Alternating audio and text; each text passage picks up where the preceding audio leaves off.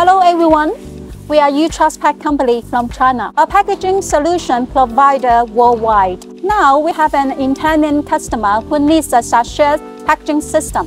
And we would like our production manager, Mr. Lee, to tell us what this system about. Uh, Ms. Lee, could you tell us what the customer wants from us? This project is a solution for an Italian customer who is mainly engaged in the OEM production of healthcare products. The customer's product is automatically packed into the bag through the multi-row bag packaging machine to complete the inner packaging, then manually counting and packing into boxes to complete the outer packaging. Because outer packaging requires a lot of manual work, and due to the current epidemic situation, it is difficult to recruit local workers.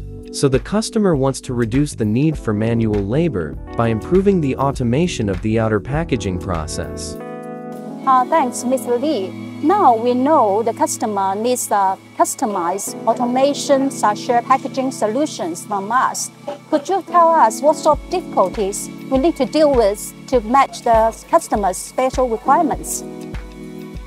Since customers are OEMs for healthcare products, they have a wide variety of products. We have received quite a few different types of products from the customer. And there will be new varieties added in the future. The size and length of the sachet range, 25150, and the width range, 4150. The inner boxes and the number of sachets corresponding to each kind of sachet are also different, and the number of sachet varies from 10 to 30 packages. Different types of sachet have different requirements for inner packaging. Some sachets only need to be packed in a sufficient quantity, and some sachets need to be packed in a sufficient number, in the same placement direction. The production efficiency is about 300 to 500 packs per minute according to the size of the sachets. At present, the traditional sachets counting and packing equipment, the sachets come out from the multi-row sachet packaging machine and are sorted into a single row and uniform direction by means of guiding conveyor belt and multi-section conveyor belt acceleration and enter into the counting machine. The counting machine divides the sachets into the tooling according to the set quantity and then pushes them into the tooling of the automatic box opening and box feeding machine. The automatic box opening and cartoning machine then pushes the sachets from the tooling into the inner box to complete the packaging process of sorting, counting, and boxing. The traditional equipment is very mature for the automatic counting and boxing of one single kind of package, but the traditional equipment also has great limitations. The traditional sachet sorting equipment can only arrange the chaotic sachets into a single row without overlapping, but there is no way to unify the direction of the printed patterns on the sachets. The counting machine cannot be compatible with any number of counts, and the compatible count values must be multiplied, such as 6, 12, 18, etc. 6, 7 are not compatible, the automatic box opening device can only be compatible with one or two kind of boxes within a certain size. The customer needs our sorting and packing system to be compatible with various sizes of sachets, various counts, and some sachets need to be placed in the box according to the direction of the unified printing pattern. Traditional equipment cannot be compatible with all requirements, so the difficulty of this project is to meet these compatibility requirements at the same time. Right, compatibility seems to be a common issue in this industry. So comparing with the traditional sachet sorting system, could you tell us how to solve this compatibility of these three major issues, the sachet size, the number of cans, and the proper placement? The customer's sachets are in a disordered stacking condition. When they are sent to the packaging workshop, it is necessary to preliminarily sort out the sachets and separate the sachets one by one. According to the customer needs that different types of sachets need to be put into boxes in different quantities. The counting device adopts a solution of vision plus parallel manipulators, compatible with any counting number. At the same time, the direction of the pattern on the package can be visually recognized, and the manipulator can also place the sachets in a uniform pattern direction while sorting and counting. The manipulator pick up one sachets at a time and places it in the discharge tooling according to the set quantity and the unified pattern direction. Since the automatic box opening machine cannot be compatible with large differences in size, and the two ways of placing the sachets vertically and horizontally at the same time, we finally abandoned the idea of automatic boxing system. The sachets are remaining to be packed into boxes manually. This project includes three parts. The disordered sachet sorting mechanism, the counting and sorting mechanism, and the output mechanism. The disordered sachet sorting mechanism.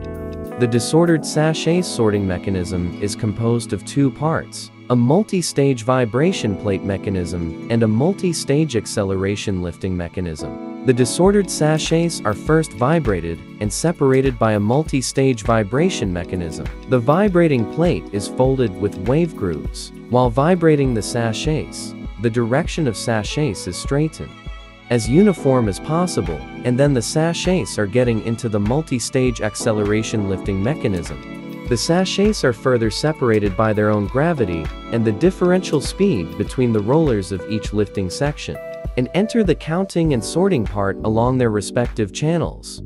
The counting and sorting mechanism, it is mainly composed of stainless steel rack, two incoming conveyor belts, six sets of vision systems, and six parallel manipulators. The parallel manipulator is commonly known as spider hand. It is characterized by high action efficiency and high repeatability. The action efficiency can reach 120 times, or min, and the repeatability can reach within 0.1 millimeter, which is very suitable for sorting and arranging small objects. The vision system is responsible for locating the coordinates of the sachets and distinguishing the direction of the sachets pattern, and sending the coordinates and direction information of the sachets to the manipulator. The manipulators pick and place according to this information, rotate their corresponding angle, and then place the sachets into the discharging tooling conveyor belt. There is also a sensor at the end of the manipulator to judge whether the placement is successful. If the placement is successful, the count of the discharging tooling is increased by 1. In this way, with the cooperation of the vision and the manipulator, the unified direction sorting and counting of the sachets is completed. The sorted and counted sachets are transported to the back through the output mechanism, and then the sachets are manually packed into boxes. Alright, let's talk to our computer vision engineer, Ryan. Hi Ryan, since you are in charge of the computer vision in this project, could you explain how it works in this program? Hi Maggie, thanks for having me. Our computer vision system works with Delta Robot. Delta Robot have small inertia, less singularity, and cross-chain kinematic calculation can be very fast. This means very fast speed and accuracy for picking and placing. Our vision system sends coordinates of the target and the robot to pick the sachet.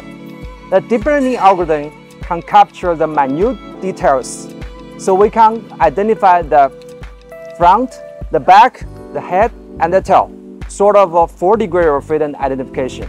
Great. Why is a challenging problem to us? This is a very challenging problem though, not like self-driving car. Neural networks do long-tail object detection and classification. For our scenario, Delta Robots Vision serves industrial manufacturing, which really demands stability and robustness with affordable computational hardware. A. We have this feature of 4-degree freedom identification of the sachet. This is very challenging.